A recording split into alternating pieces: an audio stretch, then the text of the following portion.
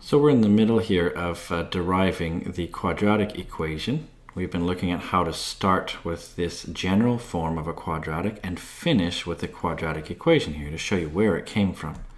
So this is the last step where we were. We've been trying to solve it. We've got b squared over 4a minus c equals a times x plus b over 2a squared. The nice thing is this is at least factored for us.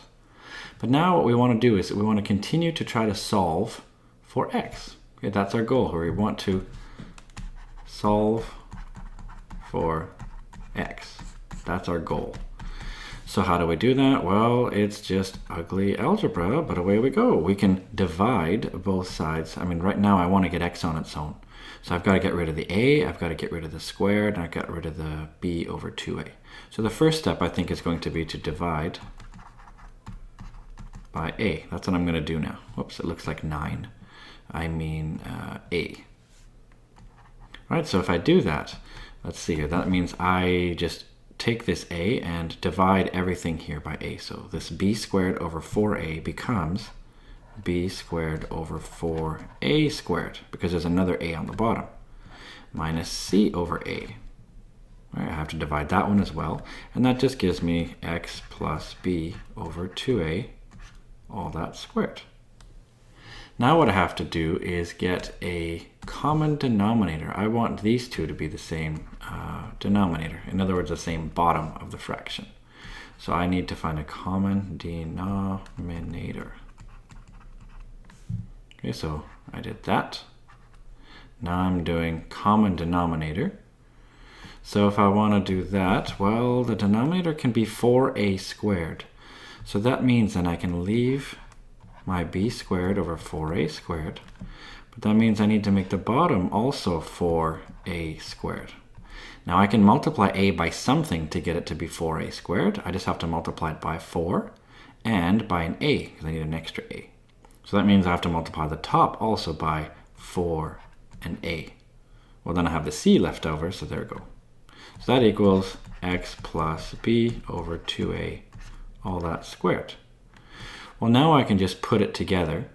So that means then I can just say, fine, that's b squared minus 4ac. Because I have a common denominator, I can write it all as over 4a squared equals x plus b over 2a squared. And we're not done yet, but we're getting there. Do you notice there's a b squared minus 4ac? So hopefully you, you remember that one. So that's uh, sort of a, a, friend of yours, I guess you could say. Uh, so what we need to do now is go a little bit further, and this time uh, we need to take the square root of both sides. So I'm going to do that on the other page here. So I had b squared minus 4ac, and I had that over 4a squared. Let me just double check. Yep. So then I'm going to take the square root of that. I'm going to say that equals, I have to go over to the right here, x plus b over 2a. And because I took the square root, that's no longer there. So it's just x plus b over 2a. But remember when you do square roots, it's also possible to have a negative. So it has to be plus or minus this because it could be plus this could be squared and give you this, but minus this could be squared and you get the same thing. That's because if you take a minus number, a negative number, and you square it, you always get a positive. So in this sense, we get the same thing, so we have a plus and a minus. That's important. Now what I can do is try to um, work a little bit on this one right here. Now it's hard to break up this square root into different pieces, but I can actually uh, break it up a little bit. So in other words, if I look at this, I can say square root of b squared minus 4ac, all that over square root of 4a squared. I can say that as well. And the good news is, because of that, this is all nice and easy to take a square root of. In other words, square root of 4 is 2, and square root of a squared is just a. Therefore, I have plus or minus square root of b squared minus 4ac, all that over just 2a.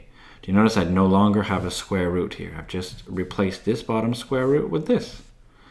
That means equals x plus b over 2a.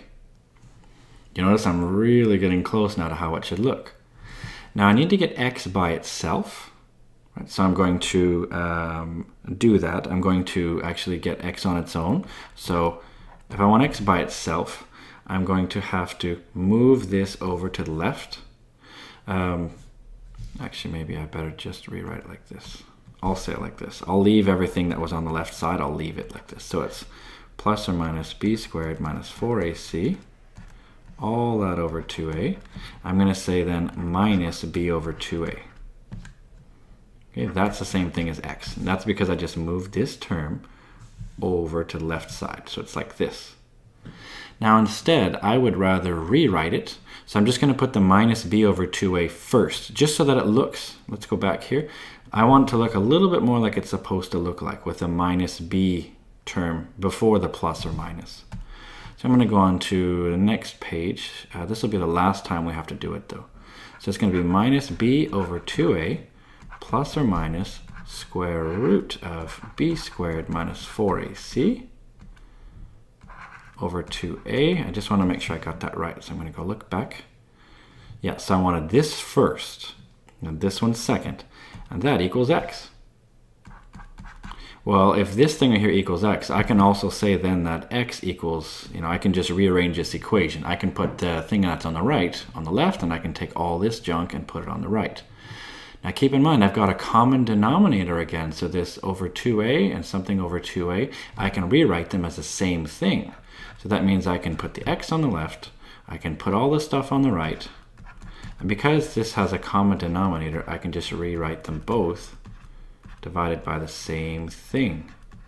So this, we've just derived the quadratic equation. Dun, dun, dun, so if we look at this one right here, this is this is it. We've come up with it sort of from scratch. Now, yes, the algebra was a little bit ugly. Uh, in fact, it was quite ugly. Uh, maybe you feel a little bit sick to your stomach uh, after doing it. Oh yeah, this is a picture I found. This is what, this is a picture that made me think a little bit about what we're just doing here. So uh, if I do this, then this is, you know, I mean, we're done but it's a little bit gross what we just did. So, I mean, yes, it's nice what we did, but we probably don't want to redo this all of the time, right? We did this for a general case. If I go back here, we started with a general form and we completed the square to get vertex form and then we solved it and we ended up with this. Now, The good news is you don't have to always derive this. Now that you trust me that this didn't just come from outer space, this actually came from, well, if we go back here, maybe some ugly algebra, as I go back in the pages here. Um, or maybe I should actually go forward. So we started here, then we did this, then we did this, then we did this, then we did this. And finally we ended up here. So you can do it. It's a bit ugly, a lot ugly, but it's doable. And all we needed just was some algebra skills. Um, it got ugly, uh, and maybe you feel like uh, throwing up a bit, but uh, it's done. So the good news is that then now you can use this every time you have a quadratic that you want to solve. You can see that it didn't just come from anywhere. It's actually doable. You just start here, finish here. Hooray!